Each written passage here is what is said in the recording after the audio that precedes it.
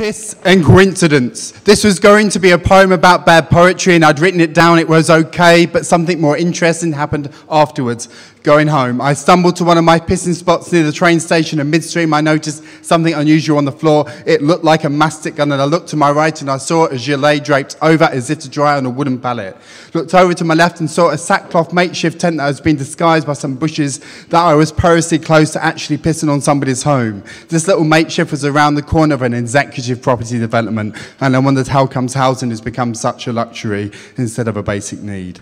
That little shanties have popped up in the cracks, and now just off Trafalgar Square, a small community of migrants have set up, mixing with the street people who sleep under warm ventilation blowers, swaddled in sleeping bags, and I vowed to look before I piss in the future.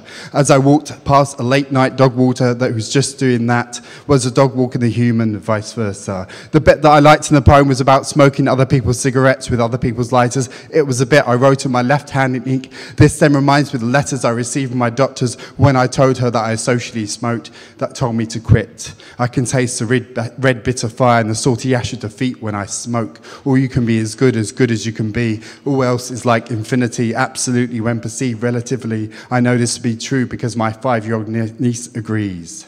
Her big, brain, uh, big brown eyes followed me around the shop beneath a nestle of orange brown hair that looked like they could eat my raggedy made up soul. Everywhere they moved, they went with intense intensity. And I thought of Sparta or fallen kings were leaders led from the front instead of stealing from the back when they sacrificed their lives for the people rather than the other way round.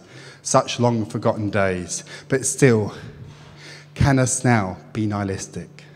I'd imagine if every moment your home could be crushed, it would be a benefit to be a little nihilistic. And the gang of teenage boys on push bikes across the George carriageway, the most cocky of them wheelies across the junction. All lights are red. My eyes are on him. I imagine everyone's eyes are on him. Such cocksure style. I feel he's going to let his front tire hit tarmac, but it doesn't.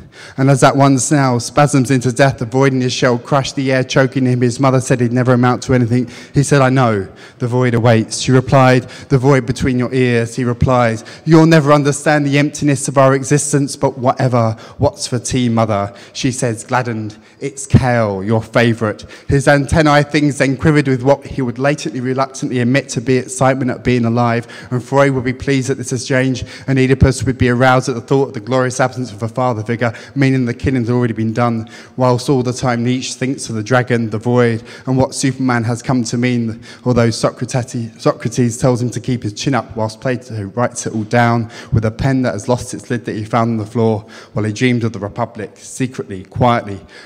Remember, war is in your blood. When you're pushed, to killing is easy as breathing, but what has a face but cannot see the time it tells? Although I think he looked into himself and saw his true self. He saw darkness, he saw the shadows, he saw the absolute absence of light. Your diagnosis, doctor, off the record, I think he's batshit crazy.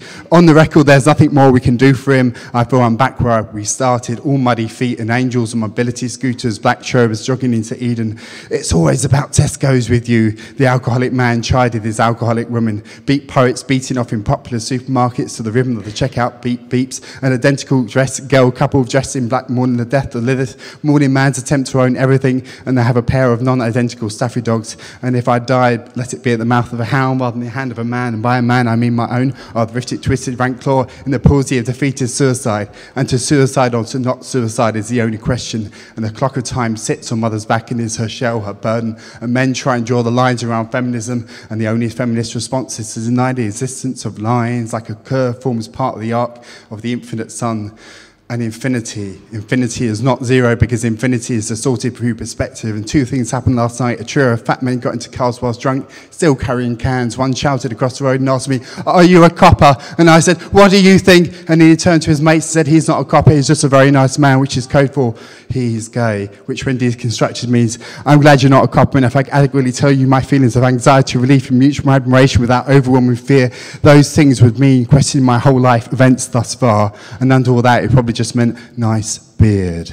Later, just after the cocksure boys with Bart's past us now to Thrumel, uh, death row where a girl with long bright hair chaperoning a very much more drunk seeming girl who's weaving all over the place said, nice beard. And all I could do was rub her neck in the middle of the road without crossing and say, thanks. And I would like to have said something with the same level of stars of Boyness Chopper just moments before, but I just smiled. Later, I wish I told her she had the pinkest hair I'd ever seen. And that's got to count for something because I seem to have known a lot of people with pink hair. Maybe this poem should have ended a few lines ago, but then I've never known when to quit. Thank.